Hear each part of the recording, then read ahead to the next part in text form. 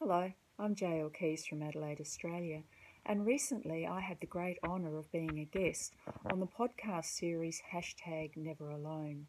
Joe Ambridge of Melbourne, Australia, and Mark Fielding, a psychotherapist and relationship counsellor based in the UK, have combined together to create this important podcast series, and it can be heard on all audio streaming platforms. I can be heard chatting with them about my experience with OCD and my recovery from it on episode 14.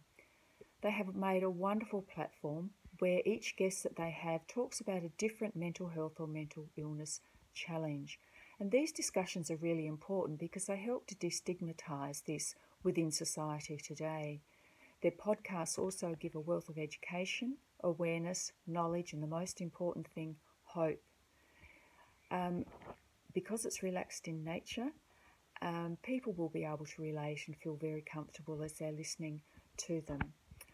And they will get to the end of it realizing that, you know what, I'm not alone in this. There's a lot of people that have mental health challenges, and it's up to me to be able to get do the research and get the information I need to give myself the best chance of recovery. And Joe and Mark certainly offer this opportunity to all of their listeners.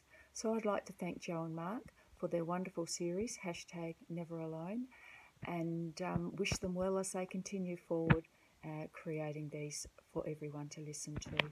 Thanks, Joe and Mark. Bye bye.